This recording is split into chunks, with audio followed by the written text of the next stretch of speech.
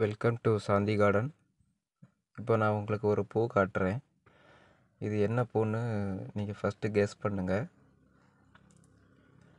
இது ஒரு வயலட் கலரில் இருக்குது இந்த பூவு. இது எங்கள் வீட்டு தோட்டத்தில் இருக்குது மாடியில்.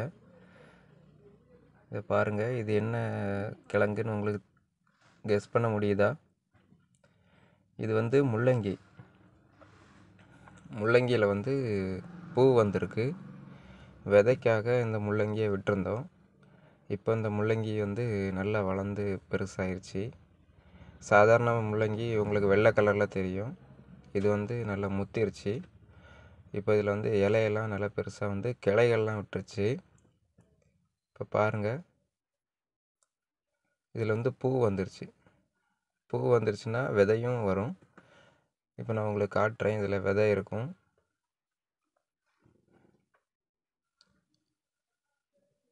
இந்த பூ குட்டியாக வயல் கலரில் நாலு நாலு இதழ் தான் இருக்குது. இதில் பாருங்கள் குச்சியாட்டு அங்கங்கே நீளமாக இருக்கும். அதுதான் விதை. கடுகு மாதிரி இருக்குது விதை.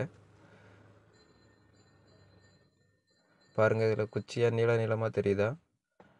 இதுதான் வந்து விதைகள் இருக்குது இது இந்த பூவு. நிறைய மொட்டும் வந்திருக்குது. அப்போ இன்னும் நிறைய விதைகள் நமக்கு கிடைக்கும். நீங்களும் உங்கள் வீட்டில் ஏதாவது முள்ளங்கி வச்சுருந்தீங்கன்னா எதை ஒரு முள்ளங்கியை வந்து பிடுங்காமல் அப்படியே விட்டுருங்க. நீங்களும் அதுலேருந்து நிறைய விதை எடுக்கலாம். இந்த பாருங்கள் இதுதான் விதை. இது நல்லா முத்தி இந்த செடி காயும் போது நம்ம எடுத்தால் போதும்.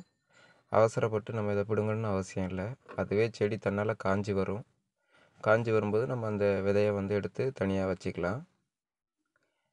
இனி நம்ம வந்து கடையில் வந்து விதை வாங்கணும்னு அவசியம் இல்லை. நம்ம இந்த விதையவே யூஸ் பண்ணிக்கலாம்.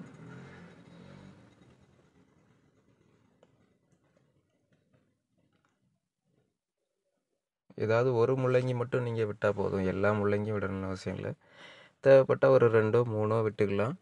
இப்போ நிறைய முள்ளங்கி வைக்கணும் உங்களுக்கு அப்படின்னு ஆசைப்பட்டீங்கன்னா நீங்கள் ஒரு ரெண்டு இல்லாட்டி மூணு முள்ளங்கி வந்து நீங்கள் பிடுங்காமல் அப்படியே விட்டுருங்க. ஆனால் அதுக்கு தேவையான இயற்கை உரம் எல்லாமே நீங்கள் போட்டு கரெக்டாக மெயின்டைன் பண்ணணும். இந்த இலைகளையும் நம்ம யூஸ் பண்ணிக்கலாம். இது வந்து இலை வந்து சாதாரணமாக முள்ளங்கியில் வர இலை மாதிரி வரல. ஏன்னா இது வந்து முத்திருச்சு அதனால் நிறைய வரும். இந்த வீடியோ உங்களுக்கு பிடிச்சிருந்தா லைக் பண்ணுங்கள் ஷேர் பண்ணுங்கள் கமெண்ட் பண்ணுங்கள்